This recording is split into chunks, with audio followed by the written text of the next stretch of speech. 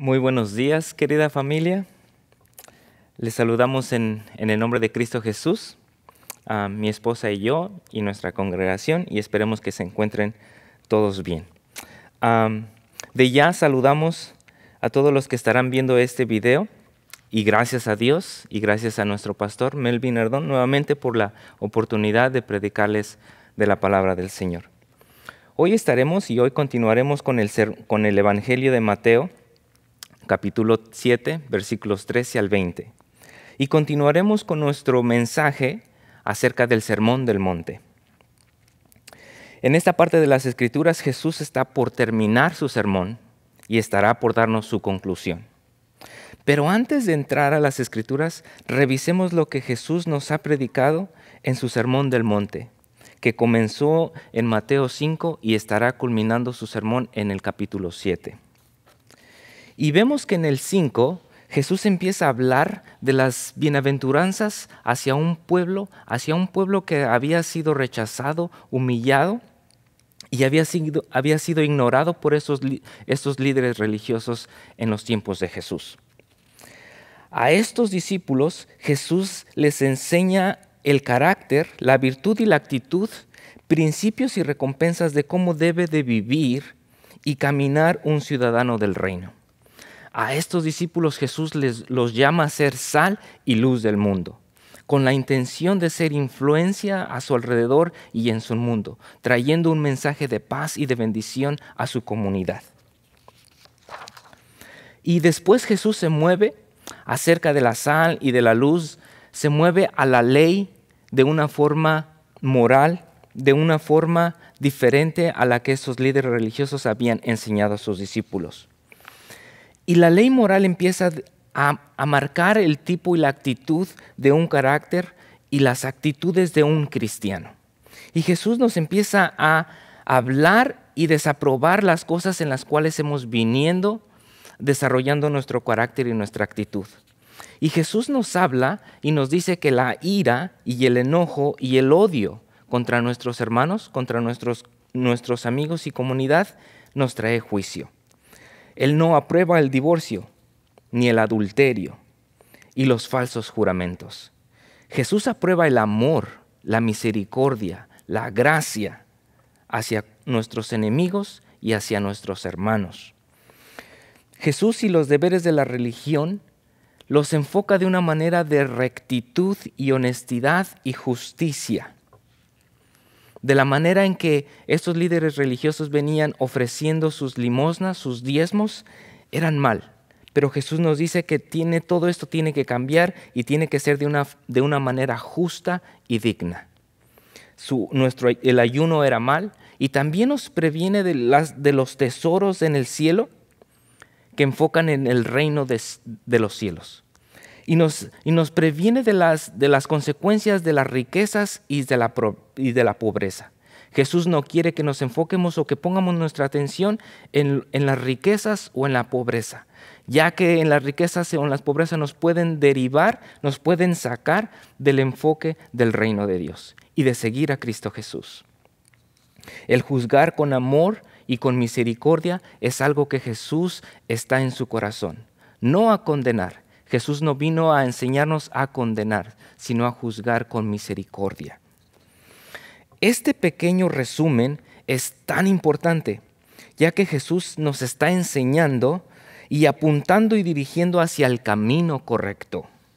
El Señor concluirá basando en lo que ya ha dicho, enseñado y exhortando y exhortará a sus discípulos, oyentes y a nosotros a tomar una decisión, de la cual su consecuencia permanecerá con nosotros para siempre y que nos servirá como evidencia de lo que hemos elegido. Pero pensemos en cuál importante es tomar una decisión y de las consecuencias que nos surge a tomar este tipo de elecciones y decisiones. So, en efecto, el tomar una decisión es tan importante. A nosotros nos pasamos nuestra vida tomando decisiones día a día qué ropa vestirnos, qué automóvil comprar, con qué persona casarnos, en dónde vivir, qué cosas obtener. son elecciones y oportunidades que nosotros nos enfrentamos día a día. Pero la decisión que Jesús nos estará presentando hoy en este día es completamente diferente. De ella depende nuestra eternidad o nuestra espiritualidad de una forma eterna. Como lo hemos podido ver, el maestro ha mostrado su sermón de lo que ha dicho y ha puesto de una, de una forma justa, de la verdad justa acerca de su reino delante de sus seguidores y de sus oyentes. Nos ha enseñado y explicado el carácter de un creyente que pertenece al reino, de las bendiciones que ellos recibirán y de la influencia que ellos impartirán en el mundo a su alrededor, y de las obligaciones que están con ellos, que tarea esta tarea no es fácil, pero que se requiere de autorrestricción, de humildad, de autonegarse a sí mismo, esto no luce nada atractivo hacia un mundo fuera del cristianismo. Pero su reino luce atractivo para aquel que es incansable buscador del reino de los cielos, aquel que toca, busca y pide ser aceptado en este reino. El sermón del monte nos lleva a tomar una decisión. Todo el sermón que comenzó en el capítulo 5 está encontrando su conclusión en el capítulo 7 y lo estaremos dando en dos partes. Hoy sería la primera parte de esta conclusión y la semana que viene sería la segunda parte de su conclusión en, su totalidad. Este sermón exige una elección, una elección absoluta que rinde finalidad, que conduce a una solución fija para siempre en la eternidad. Antes de esto, Jesús ha estado descubriendo la religión del judaísmo, que es muy conocida por las personas con quien hablaba y estaba hablando, demostrando que esta religión no es verdadera y que su religión no conduce al cielo. Que no importa cómo ayunan, cómo oran, cómo dan limosna, cómo obedecen la ley, estos líderes y discípulos están muy por debajo de lo que Dios requiere. Su ayuno es superficial, sus oraciones son superficiales, sus donaciones son superficiales, su obediencia es superficial. Es una religión por la cual intentan ganar el cielo por medio de las obras, pero no por medio del arrepentimiento, de la fe, de la obediencia y de la misericordia. Es por esto que Jesús nos dice y nos reta que nosotros tenemos que ser más justos que estos líderes religiosos, basado en el arrepentimiento, la fe, el amor y la misericordia. Jesús también señala las insuficiencias de esta religión falsa y luego las confronta con una elección. Y les dice, ¿quieren ser salvos? ¿En realidad quieren ser salvos? Bueno, pues hay dos puertas. Una va al cielo y la otra no va al cielo. Es por esto que el Señor Jesús nos ofreció no una religión, pero una relación. Una relación con Él mismo, con Dios y con el Espíritu Santo. Completamente diferente a lo que estos líderes religiosos, que son los fariseos, los escribas y los saduceos, completamente diferente. Jesús ofreció una relación de fe, de obediencia y de gracia, dependiendo del Espíritu Santo, una relación de realización divina de parte de Dios mismo donde la, salvación, la aceptación y el cielo dependen de lo que Dios hizo, hace y hará, no de lo que nosotros hacemos o lo de que estos religiosos hacen o harán. Por lo tanto, enfrente de nosotros hay un camino estrecho que conduce a la vida. Y luego estará un camino amplio con todas las religiones a nuestros alrededores que conducen a la muerte. Hay dos puertas, la ancha y la estrecha. Hay dos caminos, el ancho y el estrecho, dos destinos, la vida y la destrucción. Dos grupos de viajeros, los muchos y los pocos. Dos árboles, el bueno y el malo. Dos frutos, el bueno y el malo. Nuevamente, ante la vida nos encontramos con miles de decisiones que estaremos tomando las cuales son evidencia de nuestras elecciones que han marcado nuestra vida. Pero ninguna de estas es tan importante y fundamental como esta. ¿Por qué puerta entrar? ¿Por qué camino caminar? y qué destino buscar. ¿Y cuál es la evidencia de lo que nosotros ya hemos elegido? Con esto en mente, entonces leamos las escrituras y lo que el Señor tiene para nosotros hoy en este día. Voy a estar leyendo Mateo 7 del versículo 13 al 20 y estaré leyendo la versión Reina Valera y lo estaré leyendo desde mis notas. ¿Okay? So, la escritura en Mateo 7 del 13 al 20 dice de esta manera, Entrad por la puerta estrecha, porque ancha es la puerta y espacioso es el camino que lleva a la perdición. Y muchos son los que entran por ella, porque estrecha es la puerta y angosto el camino que lleva a la vida, y pocos son los que la hallan. El 15 dice, Guardaos de los falsos profetas, que vienen a vosotros con vestidos de ovejas, pero por dentro son lobos rapaces. Por sus frutos, dice el Señor, los conoceráis. ¿Acaso se recogen uvas de los espinos o higos de los abrojos? Así, todo buen árbol, todo, buen árbol da buenos frutos, pero el árbol malo da frutos malos. No, no puede el buen árbol dar frutos buenos, ni el árbol malo dar buenos frutos. El 20 dice, así que por sus frutos los conoceráis. Acompáñenme a orar. Gracias Señor por tu infinita misericordia, porque Señor tú nos hablas y nos exhortas afuera de tiempo y a tiempo, Señor. Permítenos, Señor, que tu palabra viva en nosotros hasta que nosotros vivamos en tu palabra. Señor, me pongo en tus manos para que hoy en este día, Señor, tú hablas, tú hables a través de tus palabras, Señor, a través de tu palabra. Señor, en el nombre de tu Hijo amado Jesús te damos gracias y te damos gloria. En el nombre de tu Hijo amado Jesús, Señor. Amén y amén. Entonces entramos con el análisis de las dos puertas y veamos que para estos líderes religiosos y para estos discípulos, el tomar una elección no era algo nuevo en sus vidas. El tomar una decisión decisiva no era algo nuevo. Si vemos la historia de Israel, podemos ver cómo Dios siempre los animaba a diferentes formas de escoger el camino correcto. Lo que esto ahora nos sirve, nos sirve como un espejo espiritual que ahora refleja nuestras vidas, lo cual es evidencia de lo que hemos y estaremos eligiendo. En Deuteronomio 30:19 dice de esta manera, A los cielos y a la tierra llamo por testigos, hoy contra, contra ustedes, que los he puesto delante de la vida y de la muerte, de la bendición y de la maldición. Escoge pues la vida para que tú y tu descendencia te vaya bien. Josué 24:15, años más tarde, nos exhorta de esta manera. Y si mal nos parece servir a Jehová, escojamos hoy a quién, a quién servir si a los dioses a quienes sirvieron nuestros padres cuando estuvieron al otro lado del río, o a los dioses de los amorreos en cuya tierra habitáis.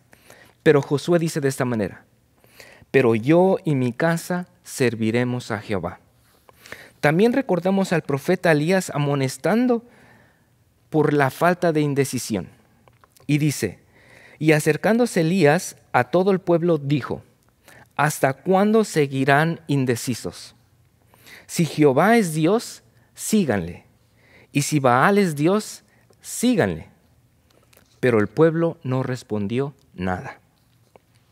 Finalmente podemos ver y añadir las palabras del profeta Isaías, que los animaba a recorrer el camino justo y a no desviarse de él. Y él lo pone de esta manera en Isaías 30, 21. Entonces sus oídos oirán a tus espaldas palabra que diga, este es el camino, entrar por él. Y no echéis a la mano derecha, ni tampoco torzáis a la mano izquierda. En otras palabras, camina el camino que es recto. Pero entonces, ¿quién es la puerta ancha? ¿Y qué es lo que Jesús nos trata de decir acerca de la puerta ancha? ¿Cuáles son sus características? Basado en lo que Jesús nos está hablando en este sermón del monte, donde él está descubriendo y exhortando a esta religión, pareciera que la puerta ancha ilustra a estos líderes religiosos y a sus seguidores en los tiempos de Jesús. Pareciera que el camino era su religión, pareciera que su mensaje era acerca de Dios y pareciera que sus seguidores eran muchos. Pareciera también que sus, líderes religiosos, ellos se suponía que tenían la responsabilidad de guiar a todo el pueblo de Israel a establecer una relación con Dios basado en la ley divina y eterna de Dios, que son el arrepentimiento, el amor, la fe, la obediencia y la misericordia. Por eso es que esta puerta es ancha, ya que pudiera referirse a la única religión de Israel y al pueblo de Israel. Pero de acuerdo con Jesús, estos líderes religiosos y estos discípulos eran falsos y que también eran faltos de arrepentimiento, injustos, deshonestos, hipócritas, inmorales. En ellos no había el amor, la obediencia y la misericordia. Lo que también hace ancha esta puerta es la actitud y el carácter de estos líderes religiosos y el pueblo de Israel en los cuales, de acuerdo con Jesús, estos discípulos estaban expuestos a los afanes de este mundo, a las riquezas y a la pobreza, al enojo, al odio, a la ira, a la fornicación, al adulterio, al mal ayunar, al mal diezmar, al mal ofrendar, en el mal orar, en el mal juzgar y en el mal condenar. Si agregamos a esta nuestras miles de religiones, sectas, denominaciones, religiosidad, ideas, filosofía, tradiciones, culturas y la forma de ver la vida, todo hace que esto, la puerta sea aún más ancha. Ya que aquí no hay una exhortación y no hay nadie ni nada que nos responsabilice de lo que decimos y de lo que hacemos. En otras palabras, entrando en esta puerta ancha y caminando en este camino ancho, caminamos y vivimos como queremos y como mejor nos parece. Es por eso que Jesús, en su infinita misericordia, en su infinito amor, nos dice que y nos previene de entrar a esta puerta, que Él la llama una puerta falsa, y que su destino es la destrucción, la perdición y el infierno, lo cual es la externa exclusión del reino de Dios y el abandono y el rechazo de parte de Dios. Y esta es la evidencia que marca nuestras vidas, que nuestras vidas no está ni Dios, ni Jesús, ni el Espíritu Santo. Y nuestro caminar es un caminar en el cual actuamos de la mejor manera que nos parece sin Dios, sin Jesús y sin el Espíritu Santo. Pero como tu amigo, como tu compañero y como tu hermano, yo te invito a que no escojas esta puerta y que no escojas este camino y este destino. Y pareciera que el Espíritu Santo de ya se está anticipando al futuro, hacia los futuros maestros, hacia los futuros predicadores. Y nos advierte que el caminar conforme a estos falsos profetas, falsos maestros, falsos predicadores, al caminar este camino, nuestro destino no es el cielo, sino la perdición y la destrucción y el mismo infierno. Y Jesús lo pone de esta manera en el 15. Guardaos de los falsos profetas que vienen a vosotros con vestidos de ovejas, pero por dentro son lobos rapaces. Por sus frutos los conoceráis. No significa que cuando yo existo a una, a una iglesia basada en una religión o en una relación, no quiere decir que estoy en el camino correcto o que he entrado por la puerta correcta. Jesús nos dice, por sus frutos los conoceráis. Quiere decir que en la forma en que ellos hablan, su actitud tienen que ir acompañados conforme a la palabra de Dios, a lo que el Señor ya nos ha mostrado, donde no hay ira, no hay enojo y donde no hay una mala enseñanza que nos ayudan a enfocarnos y poner nuestros ojos en el reino de Dios y no enfocarnos y poner nuestros ojos en lo material, por no decir los actos de prosperidad. Pero entremos entonces a saber quién es la puerta angosta y cuál es el camino angosto. Para estos líderes religiosos y para estos discípulos y para nosotros hoy en día, esto no es un tema nuevo. Jesús, por medio de su palabra, nos ha enseñado quién es la puerta y quién es el camino.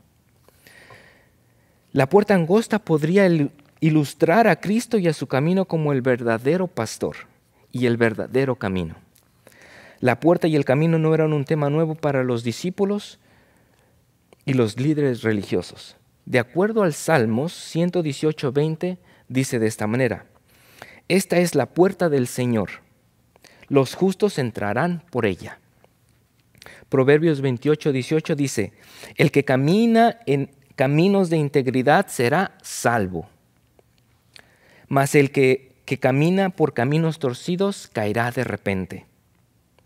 Isaías 35.8 lo pone de esta manera, que me impacta y me, me emociona de cada vez que leo este versículo. Y dice, y habrá allí calzado y un camino, y será llamado camino de santidad. No pasará inmundo por él, sino que él mismo estará con ellos. Y mire lo que dice más adelante. El que anduviere en este camino, por ignorante que sea, no se extraviará. Solo requiere de fe y de obediencia. En, en embarcarse en este camino.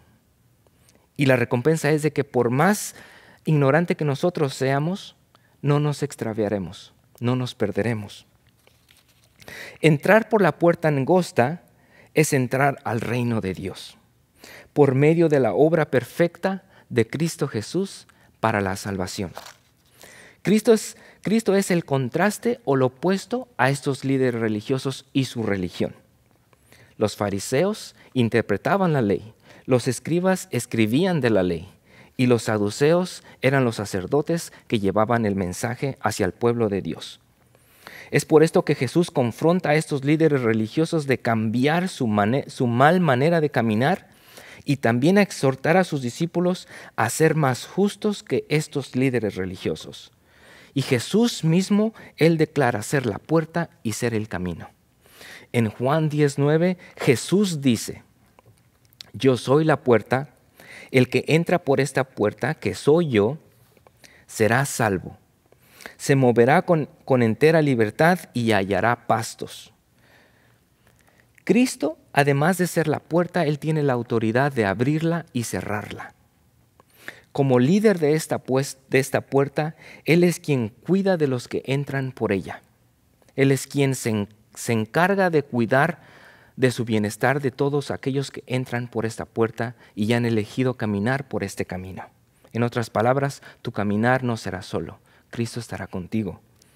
No solamente el que entra por esta puerta, que es Cristo, puede ser salvo. Solamente el que entra por esta puerta, que es Cristo, puede ser salvo.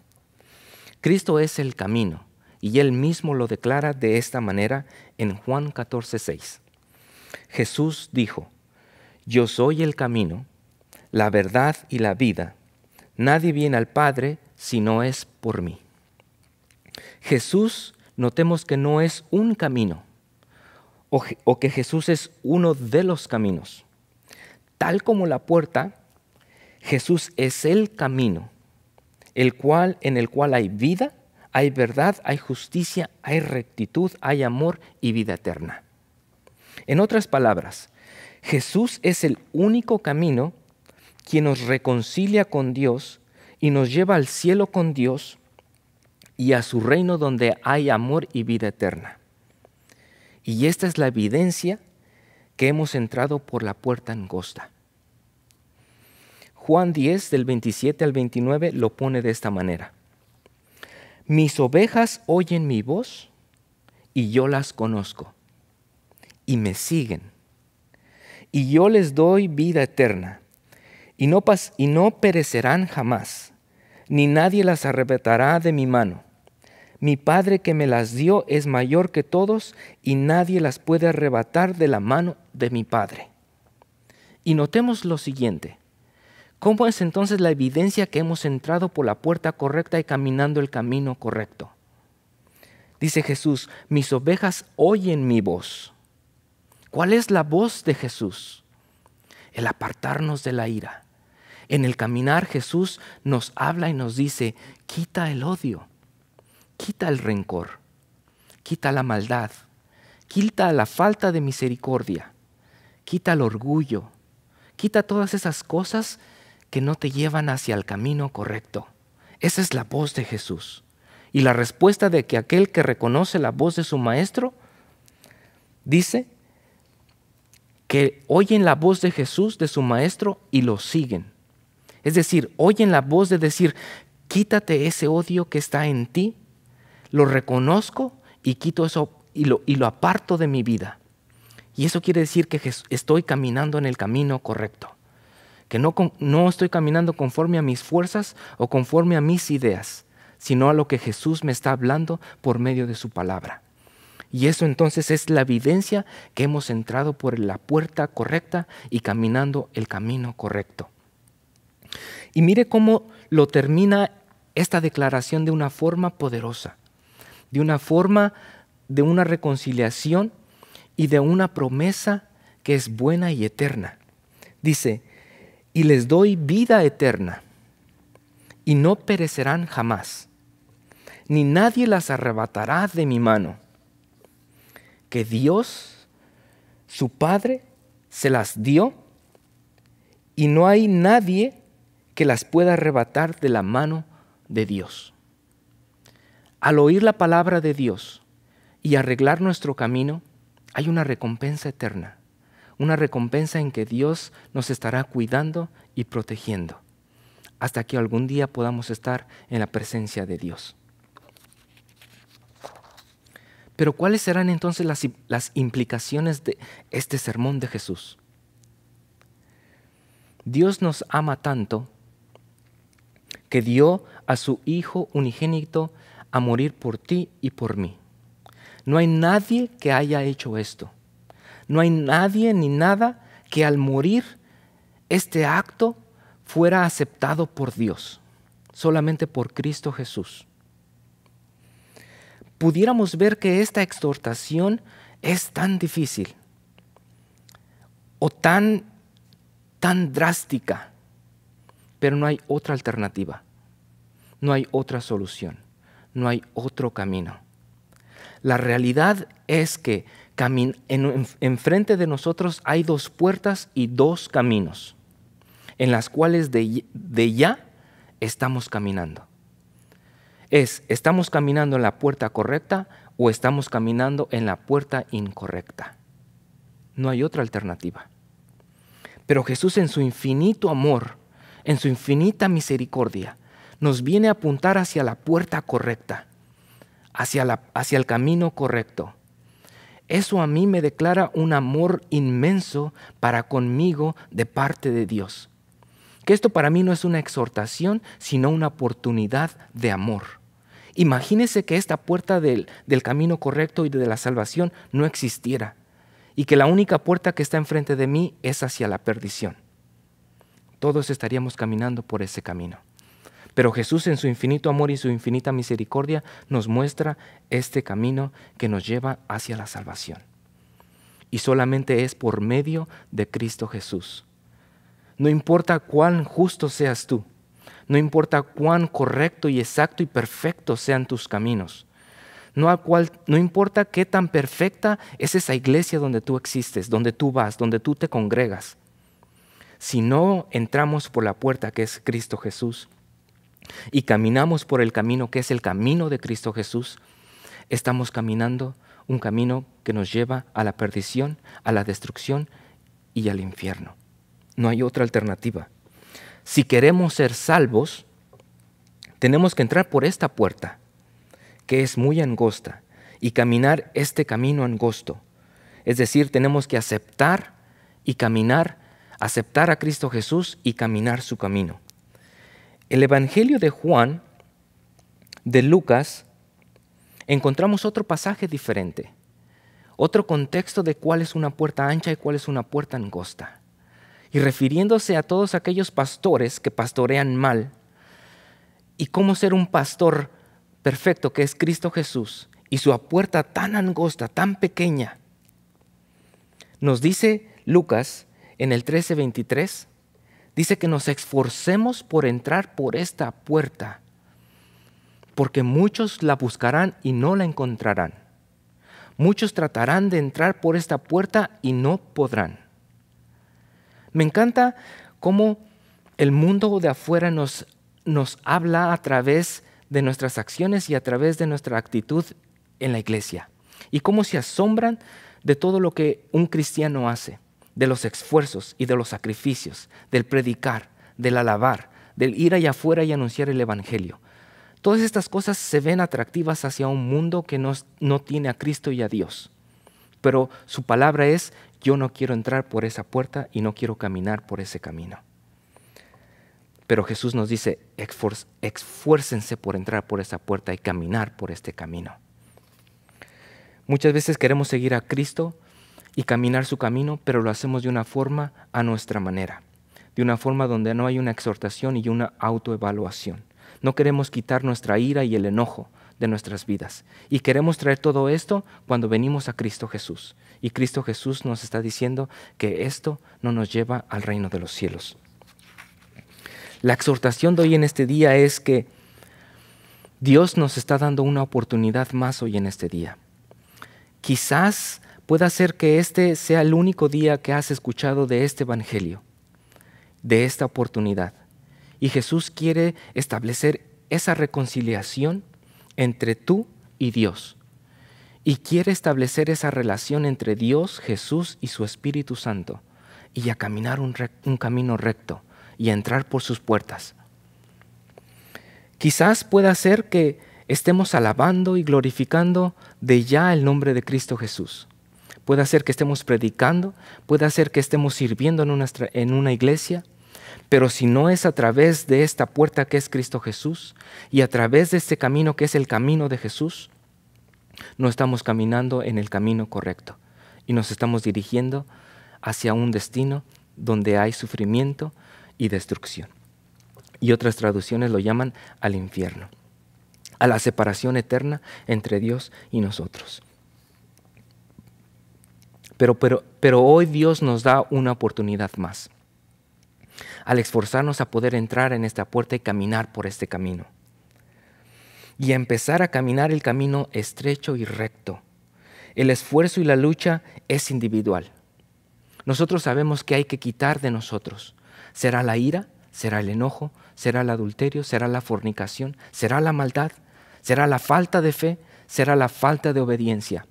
¿O será un compuesto de todos estos, de todos estos principios? Entreguémoslo hoy a Dios y enfoquémonos en caminar este camino que Dios se encargará de hablar a tiempo para que nosotros nos podamos enderecer, enderezar y poder, poder caminar el camino recto que es el camino de la salvación. oremos entonces. Si esto está en tu corazón, ponlo delante de Dios y que sea Dios a través de su Espíritu Santo trayendo convicción a nuestro corazón. Y oremos para que entonces el Señor pueda obrar en nuestras vidas. Señor, te damos gracias porque tu palabra se ha entregado, Señor. Porque en tu infinito amor y en tu infinita misericordia, Señor, a ti te ha placido, Señor, dejar estos principios. A ti te ha placido, Señor, cómo caminar este camino y quién ser este camino, Señor. Te damos gracias, Padre, porque en ti, Señor, hay esta puerta de esperanza. Ya que si no hubiera esta puerta de esperanza, Señor, todos nos estaríamos dirigiendo hacia la destrucción y hacia la perdición y hacia la separación eterna entre tú y nosotros, Señor. Pero gracias porque en tu infinito amor has puesto esta puerta, Señor, en la cual, Señor, nos has veniendo apuntando a esta puerta y este camino que es el camino recto. Gracias Señor porque nos has, nos, nos has estado dirigiendo Señor a través de esta serie Señor, a caminar el camino recto y a entrar por la puerta estrecha Señor. Y a animarnos, a esforzarnos Señor, a caminar un camino digno de ser llamados ciudadanos del reino de los cielos Señor. Te damos gracias y te pedimos Señor que sea tu Espíritu Santo trayendo convicción a nuestras vidas hablando a nuestros corazones, Señor, y moldeándonos conforme a tu palabra. En el nombre de tu Hijo amado Jesús, Señor, te damos gracias, gloria y honra. Amén y amén. Y como es tradición, pues vamos a extender nuestras manos y vamos a estar dando la bendición. Ah, reciban la bendición que, como dice nuestro pastor, que el Señor nos permita vivir en su palabra hasta que su palabra viva en nuestros corazones. Y que hasta que se acabe el pan y el café, entonces podemos regocijarnos en la presencia de Dios. O que hasta que se acabe el pan y el café, nuestra fiesta continúa. Gracias y los esperamos ver en nuestro servicio el próximo domingo. Que Dios les bendiga.